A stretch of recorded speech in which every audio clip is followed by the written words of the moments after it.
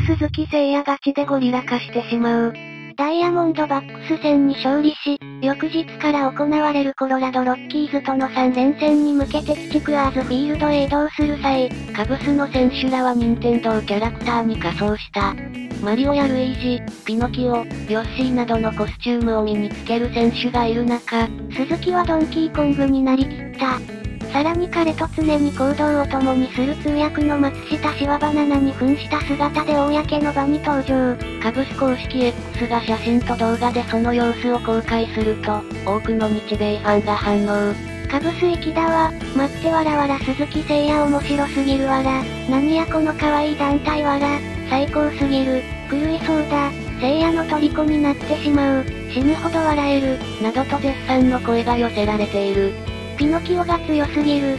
通訳さん巻き込まれてるやんけ。ジュゲムもいるなわら。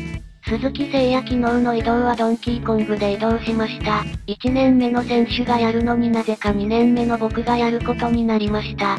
理由去年出産でやってないからだそうです。恥ずかしいとかはないけど、暑苦しかったのがしんどかった笑い。